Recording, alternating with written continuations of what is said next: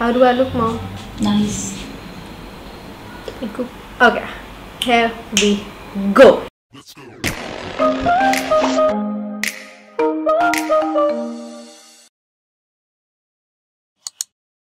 Hey viewers, what is up? Welcome back to my channel. So it's been a long time since I sat here and did a makeup tutorial for you guys. Not for you guys, for you girls. Obviously all of you guys would not be interested in that but being a girl, it's my duty to do some makeup tutorials. I'm going to be doing a makeup tutorial uh, today.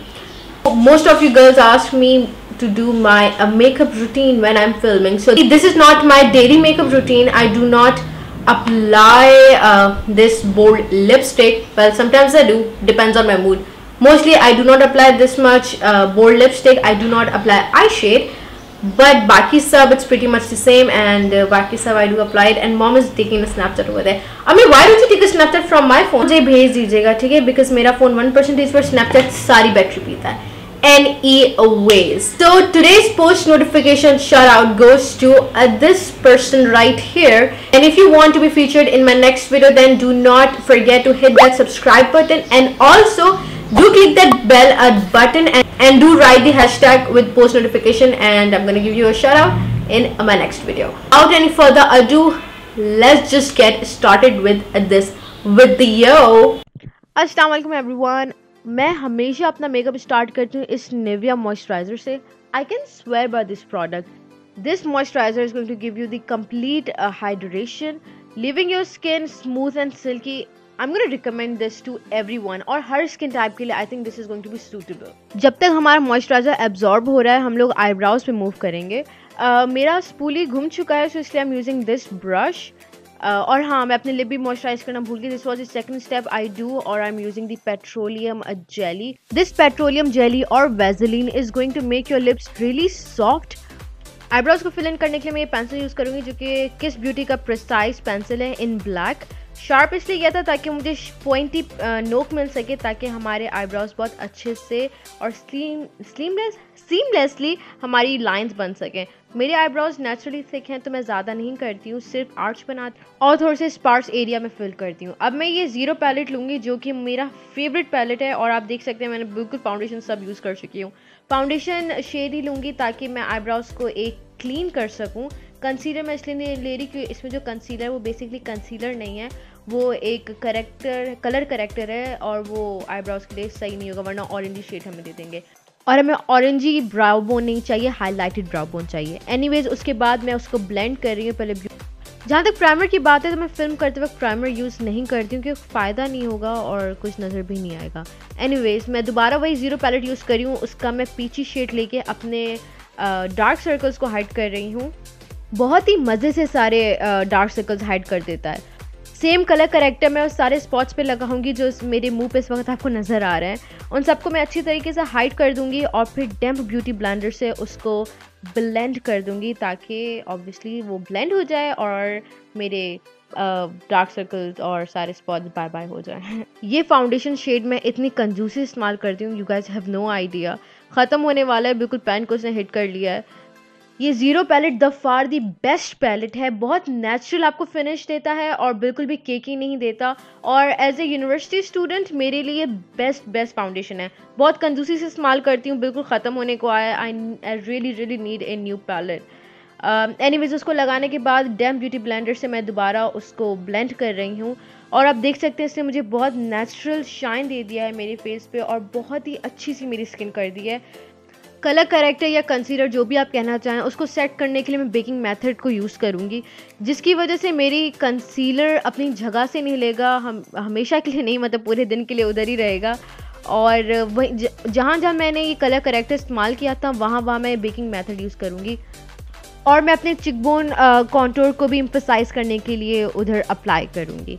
अब करते हैं हम bronzing ये मैं bronzer लिया है makeup essentials का टेरा glow bronzing powder एक सन किस लुक देने के लिए मैं वो हर जगह अप्लाई करूँगी जहाँ नॉर्मली अप्लाई होता है। हमें बेकिंग पाउडर को थोड़ा टाइम देना है तभी हम लोग कंट्रोल कर रहे हैं। इस मोटे पाउडर ब्रश से अब मैं सारा बनाना पाउडर डस्ट ऑफ़ करूँगी।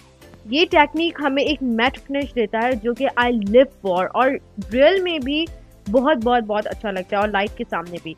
अब मैं वही ज़ीरो मेकअप पैलेट का पाउडर लूँगी और उसी ब्रश से आ, बाकी फेस को सेट करूँगी। सेम पैलेट से वही क्रीम ब्लश लेंगे और उसको अप्लाई करेंगे। ये बहुत ही हमें नेचुरल फिनिश देता है और जितना नेचुरल उतना बेटर उसको सेट करने की वो क्रीम है मैक का पाउडर ब्लश यूज़ करेंगे।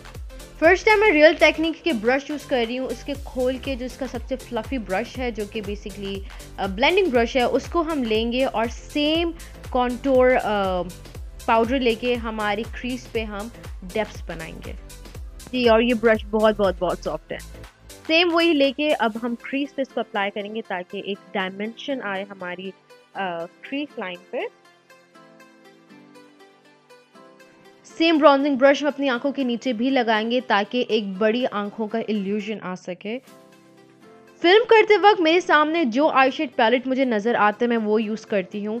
ये तीन बेसिक हैं जो मैं सबसे ज़्यादा यूज़ करती हूँ। आज मैं ये ग्लिटर यूज़ करूँगी, जो कि काफ़ी काफ़ी पुराना है। इसका नाम भी मिट चुका है, मुझे नाम भी याद नहीं। बहुत बहुत बहुत पुराना है। सॉरी मुझे नाम याद नहीं है, और, पर हमने वही सेम ग्लिटरी को लगाया अपनी आईलेट्स पे और उसी ब्लेंडिंग ब्रश से ब्लेंड किया है। मेकअप फॉर एवर का कोल पेंसिल इन ब्राउन वो लेंगे और अपनी आँखों के नीचे लगाएँगे ताकि और डायमेंशन आ सके। लाइनर के लिए मेरा ट्रस्टी एवॉन का केक लाइनर हमेशा से मैंने यही लाइनर लगाया है और I can swear by this product वही पानी लेंगे और जो आपको पता है कैसे लगाते हैं और अपना लाइनर लगाएँगे। मैं बहुत ही बहुत ही बहुत ही पतला लाइनर लगाती हूँ। ज़्यादा मोटा नहीं करती एक विंग सा पतला सा लाइनर लगाती हूँ। दोनों आँखों पे ऑब्वियसली सेम आँख पे लगाएँगे तो बहुत अजीब लगेगा। तो दोनों आँख पे सेम लगाना पड़ता है। मस्कारे के लिए मेकअप फॉर एवर का ये मस्कारा मेकअप करने में मेरा फेवरेट पार्ट ये मस्कारा लगाना होता है। कि मैं फॉल्चिस नहीं पहनती तो मैं ज़्यादा से ज़्यादा मस्कारा लगाती हूँ। इतना लगाऊँगी, आप देखिएगा, मैं इतना लगाऊँगी मस्कारा जब तक मेरी आंग लैशेज़ बड़ी ना हो जाएँ, जब तक मैं थक ना जाऊँ। और ये मस्कारा लिटरली लैशेज़ बहुत बहुत बहुत बड़ी करता है। बहुत बेस्ट है और मैं ऑब्वियसली रिकमेंड करूँगी। बाय द वे मैं सारे प्रोडक्ट्स डिस्क्रिप्शन बॉक्स में मेंशन कर दूँगी सो टेंशन वर्क। का वही सेम हाइलाइटर लूँगी जो मैंने अपने आईलेट्स पे लगाए थे और उसी को ही हाईलाइट करूँगी मतलब हाईलाइटेड एरियाज़ पे लगाऊँगी। बहुत अच्छा हाइलाइटर है। इसका नाम काश मुझे पता होता, मैं आप लोग को बता सकती। ब्राउ बोन को हाईलाइट करने के लिए अर्बन डिके का सिन शेड लूँगी और ऑब्वियसली हाईलाइट करूँगी। पर्ली पिंक टाइप का ये शेड है। अब लिप्स को लाइन करने के लिए मैं ये स्वीट फेस का लिप पेंसिल लूँगी इन 109 और इससे अपने लिप्स को आउटलाइन करूँ। लिपस्टिक के लिए मैं हुदा ब्यूटी का वीनस यूज़ करूँगी। बहुत परफेक्ट एवरीडे ब्राउन शेड है। जितनी भी बार मैंने लिप कलर लगाया उतनी बार मुझे कॉम्प्लीमेंट्स मिले। But obviously you know me मैं एक लिप शेड से सेटिस्फाई नहीं होती हूँ तो मैं तो अब मैंने एक लेजोना का लिप शेड लिया इन फाइव ट्वेल्व और फिर इससे मैं डेप डेप डेप करूँगी, जब तक मैं सेटिस्फाई नहीं हो जाऊँ, और इन दी एंड मैं सेटिस्फाई हो जाती हूँ। बस मुझमें है दो शेड यूज़ करने का कीड़ा। और हाँ अब पोस्ट करने की बारी है this is my final look hope you guys enjoyed this uh, makeup tutorial and if a guy is watching this video, uh, thank you for watching my video. Obviously तुम्हारी किसी काम का नहीं है. Anyways, so if you stay till at this end, thank you so much and and I'm gonna see you guys in my next video. Until then, take care of yourself, stay healthy, stay positive. Allah Hafiz, fi amanillah.